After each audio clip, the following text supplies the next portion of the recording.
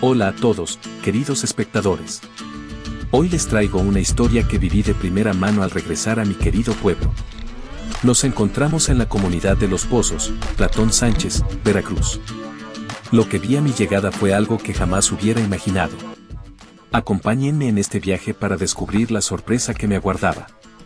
Al llegar a mi pueblo, sentía una emoción indescriptible. Las calles familiares, los rostros amigables, todo parecía como recordaba pero pronto noté algo que no encajaba, el arroyo que solía fluir con vida y vitalidad, ahora estaba completamente seco. El arroyo siempre había sido el corazón de nuestro pueblo. Sus aguas corrían alegremente, proporcionando vida a la flora y fauna de la región. Era un lugar de encuentro, de juegos y de tranquilidad. Pero hoy, lo que veo es un lecho de tierra reseca y agrietada. La sequía que ha afectado a nuestra región en los últimos tiempos es la principal razón detrás de esta sorprendente transformación. Las lluvias que solían ser frecuentes se han vuelto escasas y el cambio climático está haciendo estragos en nuestro ecosistema. La comunidad está unida frente a este desafío. Hablé con algunos lugareños y todos compartían sus preocupaciones sobre el futuro. La sequía no solo afecta al arroyo, sino también a nuestros cultivos y a la disponibilidad de agua para el ganado. A pesar de la adversidad, nuestra comunidad está tomando medidas para enfrentar esta situación.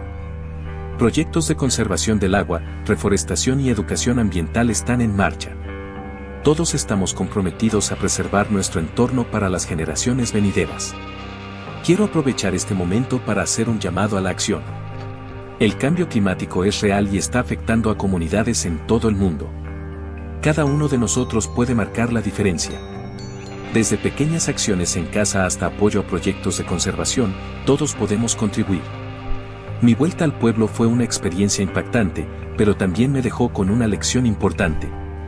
El mundo está cambiando a nuestro alrededor y depende de nosotros asegurarnos de que es un cambio positivo. Sigamos unidos, trabajemos juntos y cuidemos de nuestro entorno. En medio de la sequía, la colaboración y la creatividad pueden marcar la diferencia. Compartamos ideas sobre cómo podríamos trabajar en conjunto para superar los desafíos que esta situación presenta.